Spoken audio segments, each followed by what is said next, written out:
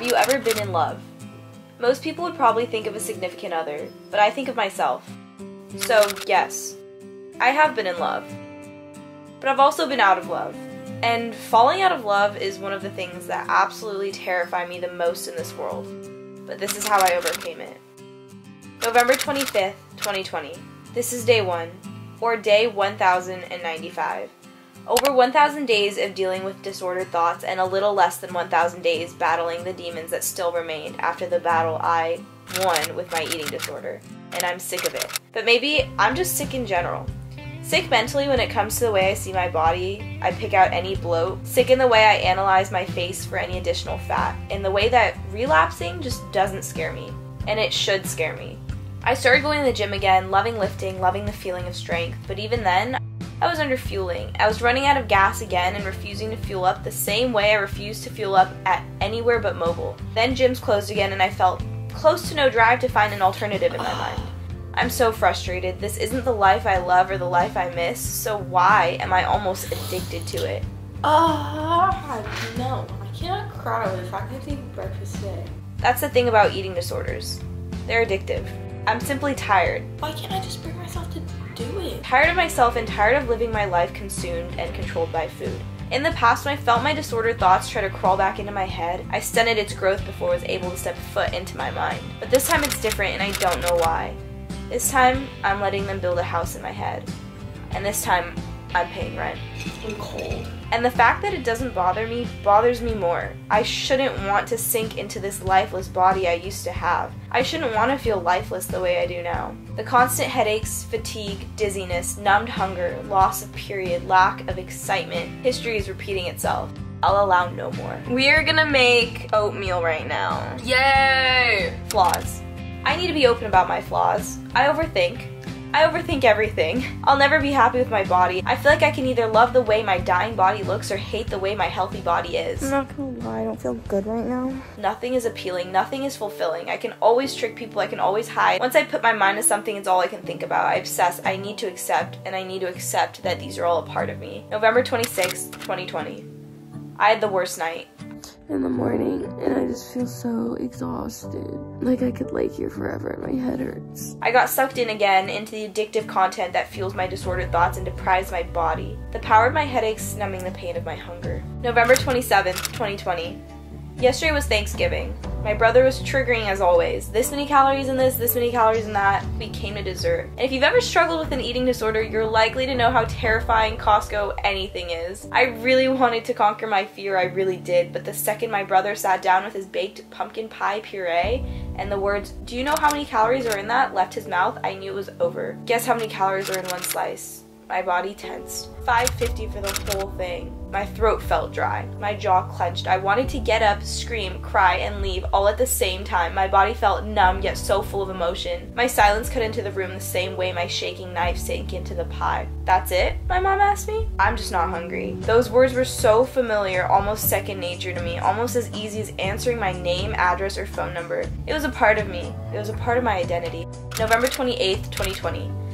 My mind is possessed by food. 70% of my thoughts in a day are spent obsessing, overthinking, hurting. This is ridiculous. I think it hurts me to film when I'm just not me. I need my period back. Today scares me. I don't want to go out to eat. I want to stay here, but I can't lose any more of my social life or let anything else be taken further away from me. I'm just a little emotional right now. I'm tired My dad just came to visit me and drop off a couple of things, and it was the first time to see me since I started openly talking about this. It makes me so sad because I don't like seeing him worry. I just, I don't know how much they care and how worried they are for me. He wants to go out to dinner and all this stuff, but he knows that, like, I shouldn't because it's uh, not good mentally for me. I'm like, I feel bad because like, I can tell he misses me, but I just, like, don't like going back home because of, like, the environment of my brother and food. I'm tired of this, like, affecting my relationships. and I just have to remember the moments like this where it just sucks. I'm so sick of it and I just want to get better. Yeah, so I felt a little breakdown. I just like, I turned my back away from my dad and I started walking into my apartment. As like, I turned away, so I just started to bawl. This stuff is so hard. December 5th, 2020. I got my period back on November 30th. Obviously, I was very happy to get it, but a part of me was kind of sad. Like, Oh, guess that means I'm gaining weight. I had my first call with my therapist, Amanda. I'm excited to keep seeing her, and we gave my ED voice a name, Brittany. I still have toxic habits, but overall, I would say I'm better.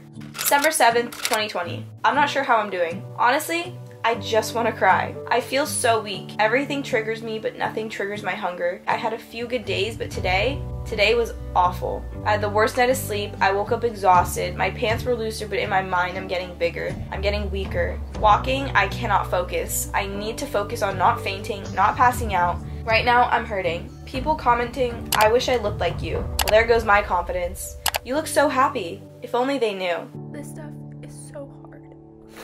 If only they knew I was miserable, and if only they knew I was lifeless. And if you're going through any of it, you are seriously one of the strongest people I know. February 1st, 2021. I have so much on my mind, but honestly, I always do.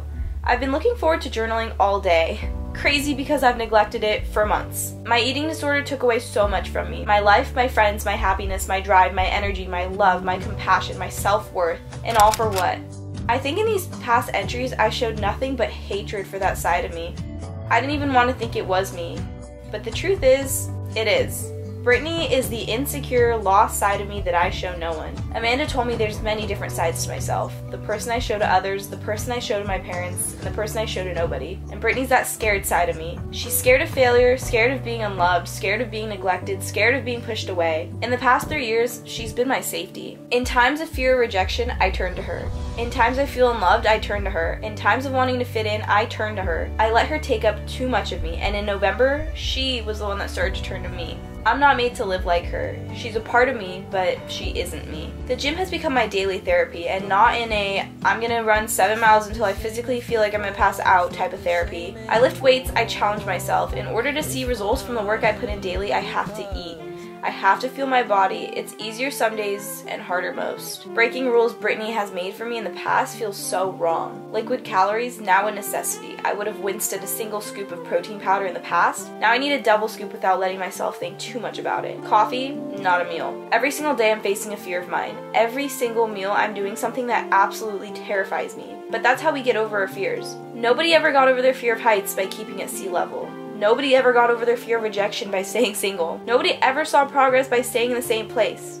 As hard as it is, we have to do things that absolutely terrify us because in the end, that's when we feel the most alive. And that's my goal at the end of this to feel alive again. This past year has been one of the hardest of my entire life, and I think it's because I went through it alone. I mean, I had my parents, I had my friends, I had you guys but I never had myself. Back in November, when the fear of moving to college and the fear of feeling as alone as I did in Huntington settled in, I would have done anything to avoid it. But the people who would judge a person any different because of the way they look is just not someone I want in my life. If I want true, genuine connections, I can't go looking for them in the place I feel the most lost myself. In the past few months, I've made a lot of progress, but I still have a shit ton left. I want to be able to go out to dinner with my friends again without thinking twice about the calories. I want to bake brownies and pies without the fear of binging or beating myself up for every little bite. I want memories, I want moments. I don't want to miss out on any more of my life because I'm absolutely terrified of a few more healthy inches. I want to love my body for all the crazy cool things it can do. I want to be able to live parts of my life in private without having to show the world. I'm not the poor 15 year old girl with an unhealthy mind who feared eating over 800 calories, not being good enough, who measured her worth as a stupid number on a scale and a stupid number around her waist. I'm not the lonely 18 year old girl I was a few months ago who pitied herself, who just wanted someone to love her so that she didn't have to go through the long process of reloving herself, who wanted the world to disappear because with it, so would the feelings of loneliness, pain, sadness, emptiness, hurt. I'm an 18 year old girl still working on herself. I'm a work in progress. While I may not be who I want to be, no one ever got anywhere by staying still. Why would I want to repeat my habits at 13 and 15 if I don't want the same life I lived? The answer is I don't, and I won't. A part of this is learning to be uncomfortable, learning that feeling emotions does not equal weakness. I need to be more forgiving of myself. I need to allow myself to feel because no matter how awful the feeling is, Emotion is beautiful.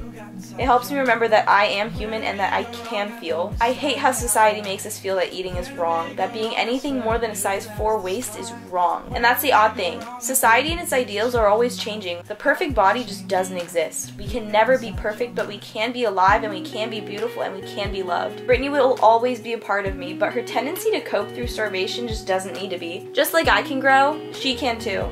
I can fully recover and heal my relationship with food, my body, the people I love, and most importantly, myself. I need to remind myself don't let all your love you have rest in someone else. Let it rest in you. Give yourself the love you pour to others. Give yourself the same affection. Be kinder to yourself. Fall in love with yourself.